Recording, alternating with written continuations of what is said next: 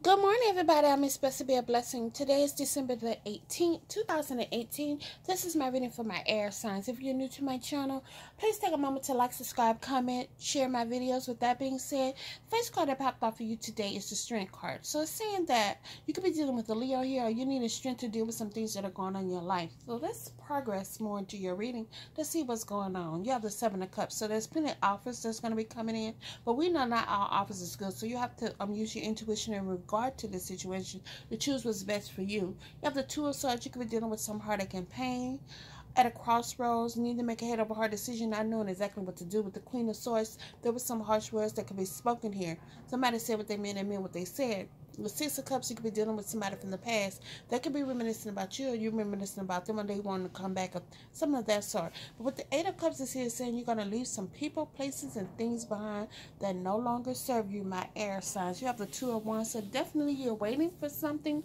or someone to come in. But you need to make a decision about this because somebody's feeling like they're left out in the cold in regard to this situation. Feeling like they lost something in regard to a lover's relationship is what I'm seeing. Now the Four of Swords, so saying that you need to retreat, Relax your mind, your body, and your spirit in order to get to be to your optimum level. When dealing with something that could be draining you or taking your energy, you need to rejuvenate. You have the three of swords. You could be dealing with some heartache and pain here, some disappointment or something like that.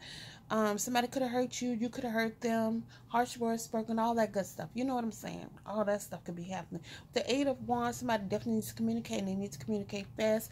And with the Nine of Cups, it talks about wishing and hoping for things. But you have the wish card, so anything you're hoping and wishing for can't come to fruition okay? But it's going to take a little work. All right all right air signs this is your reading for today. Please like subscribe comment to my channel. I'm Ms Blessed to be a blessing. Have a very very blessed day